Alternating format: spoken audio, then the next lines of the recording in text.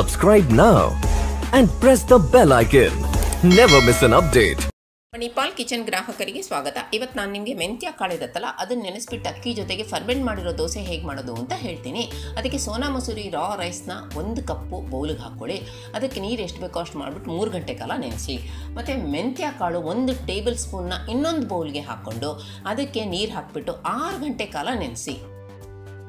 ಆರು ಗಂಟೆ ಕಾಲ ನೆನೆದ್ರೆ ಮಾತ್ರ ಅದು ಮಿಕ್ಸಿ ಚೆನ್ನಾಗಿ ಉದ್ದಿನಬೇಳೆ ರುಬ್ದ ಹಾಗೆ, ರುಬ್ದಾಗ ಹೆಂಗೆ ಉಬ್ಬಿ ಬರುತ್ತೆ ಉದ್ದಿನಬೇಳೆ ಜಾಸ್ತಿ ಆಗಿ ಬರುತ್ತಲ್ಲ, ಹಂಗೆ ಬರುತ್ತೆ. ಈಗ ಅದನ್ನು ಜಾ, ಬೌಲಿಗೆ ಟ್ರಾನ್ಸ್ಫರ್ ಮಾಡಿಬಿಟ್ಟು ಸ್ವಲ್ಪ ಸ್ವಲ್ಪ ನೀರು ಹಾಕ್ಬಿಟ್ಟು ನೀವು ಚೆನ್ನಾಗಿ ರುಬ್ಕೊಳ್ಳಿ. ಫೈನಾಗಿ ಮತ್ತು ಫ್ಲಫಿ ಆಗೋ ಹಾಗೆ ರುಬ್ಕೊಳ್ಳಿ. ಇವಾಗ ನೋಡಿ ಹೆಂಗೆ ರುಬ್ಬಿ ಬಂದಿದೆ ನೋಡಿ, ನಿಮಗೆ ಕಾಣುತ್ತೆ ನೋಡಿ. ಎಷ್ಟಾಗಿದೆ ನೋಡಿ, ಹೌದಾ? ಈಗ ಅದಕ್ಕೆ ನಾವು ನೆನೆಸಿರುವಂಥ ಸೋನಾ ಮಸೂರಿ ಅಕ್ಕಿನ ಹಾಕ್ಕೊಳ್ಳಿ ಇದು ಹಾಕ್ಕೊಂಡ್ಮೇಲೆ ನೀವು ಇದನ್ನು ಫ್ರೈನಾಗಿ ಗ್ರೈಂಡ್ ಮಾಡ್ಕೋಬೇಕು. ಜಾಸ್ತಿ ನೀರು ಹಾಕೋಬೇಡಿ ಸ್ವಲ್ಪ ದಪ್ಪ ಆದರೆ ಪರವಾಗಿಲ್ಲ. ಆಮೇಲೆ ಮಿಕ್ಸಿ ತೊಳೆದು ನೀರು ಹಾಕೋಬೋದು ಇವಾಗ ಫೈನಾಗಿ ಗ್ರೈಂಡ್ ಮಾಡ್ಕೊಳ್ಳಿ. ಇವಾಗ ನೋಡಿ ಪರ್ಫೆಕ್ಟಾಗಿ ಗ್ರೈಂಡ್ ಆಗಿದೆ. ಸ್ವಲ್ಪ ದಪ್ಪ ಆಗಿರ್ಬೋದು ಹಿಟ್ಟು. ಸೊ ನೀವು ಅದಕ್ಕೆ ಒಂದು ಸ್ವಲ್ಪ ಒಂದು ಅರ್ಧ ಕಪ್ ನೀರು ಹಾಕ್ಬಿಟ್ಟು ಸ್ವಲ್ಪ ತೆಳು ಮಾಡಿಬಿಟ್ಟು ಅದನ್ನು ಫರ್ಮೆಂಟ್ ಮಾಡೋಕ್ಕಿಡಿ ಇವಾಗ ಬೌಲಿಗೆ ಟ್ರಾನ್ಸ್ಫರ್ ಮಾಡ್ಕೊಳ್ಳಿ. ಇವಾಗ ನೋಡಿ ಅದನ್ನು ಅದಕ್ಕೊಂಚೂರು ಹೇಳಿದ್ನಲ್ಲ, ಇವಾಗ ಅದನ್ನು ferment ಮಾಡೋಕ್ಕಿಡಿ eight to ten hours ferment ಆದರೆ ಪರವಾಗಿಲ್ಲ.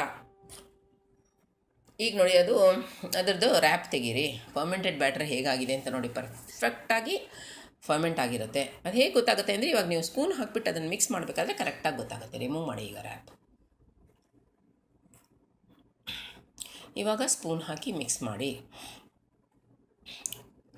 ಆಯ್ತಲ್ವಾ? ಒಂದು ಮಿಕ್ಸ್ ಕೊಟ್ಟ ಮೇಲೆ ಅದಕ್ಕೆ ರುಚಿಗೆ ತಕ್ಕಷ್ಟು ಎಷ್ಟು ಬೇಕೋ ಅಷ್ಟು ಉಪ್ಪು ಹಾಕ್ಕೊಂಡು ಮತ್ತೆ ಒಂದು ಸತಿ ಮಿಕ್ಸ್ ಮಾಡ್ಕೋಬೇಕಾಗತ್ತೆ.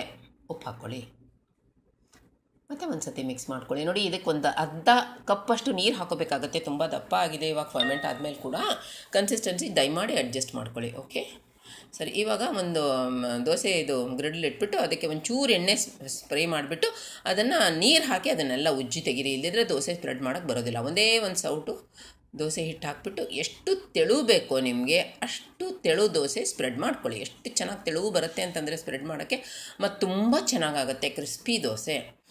Cover and cook ಮಾಡಿ ಈಗ ಟು ಟು ತ್ರೀ ಮಿನಿಟ್ಸು ಈಗ ನೋಡಿ ದೋಸೆ ಕುಕ್ ಆಗಿದೆ, ಚೆನ್ನಾಗಿ ಹೋಲ್ಸ್ ಬಿದ್ದಿದೆ, ಯಾಕಂದರೆ ಫರ್ಮೆಂಟ್ ತುಂಬ ಚೆನ್ನಾಗಾಗಿದೆ, ಈಗ ಎಣ್ಣೆ ಹಾಕ್ಕೊಳ್ಳಿ ಮತ್ತೇನು ಕುಕ್ ಮಾಡಿ ಸ್ವಲ್ಪ, ಯಾಕಂದರೆ ಅದು ಸ್ವಲ್ಪ ಕ್ರಿಸ್ಪಿ ಆಗಿ ಬರಲಿ. ಈಗ ನೋಡಿ ಎಷ್ಟು ಚೆನ್ನಾಗಿ ಕ್ರಿಸ್ಪಿ ಆಗಿದೆ ದೋಸೆ, ಇದನ್ನು ತೆಕ್ಕೊಳ್ಳಿ ಈಗ.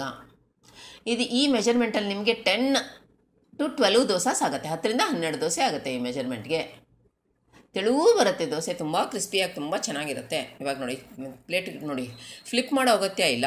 ಹಿಂದ್ಗಡೆನೂ ಕುಕ್ ಆಗಿರುತ್ತೆ, ಚೆನ್ನಾಗಿ ಬೇಯಿಸು ನೋಡಿ. ಕ್ರಿಸ್ಪಿಯಾಗಿ ಬರುತ್ತೆ. ಇವಾಗ ಪ್ಲೇಟಿಗೆ ಟ್ರಾನ್ಸ್ಫರ್ ಮಾಡ್ಕೊಳ್ಳಿ.